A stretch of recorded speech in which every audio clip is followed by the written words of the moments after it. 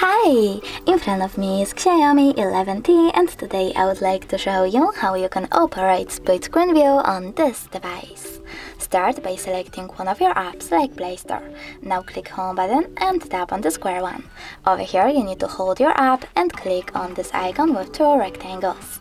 Then select the other app like gallery and as you can see now I can use both of them at the same time. If you wish to go back from this mode, drag the first tab upwards and tap home button. Thanks so much for watching, if you enjoyed this video, leave a like, comment and definitely subscribe. Bye!